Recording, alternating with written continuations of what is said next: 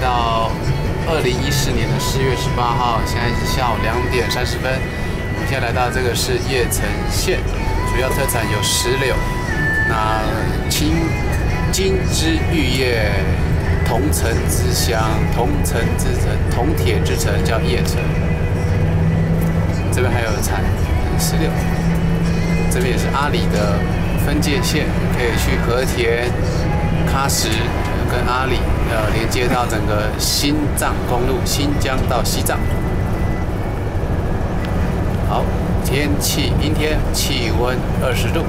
现在来到叶城，继续再往南走，要到和田。拜拜。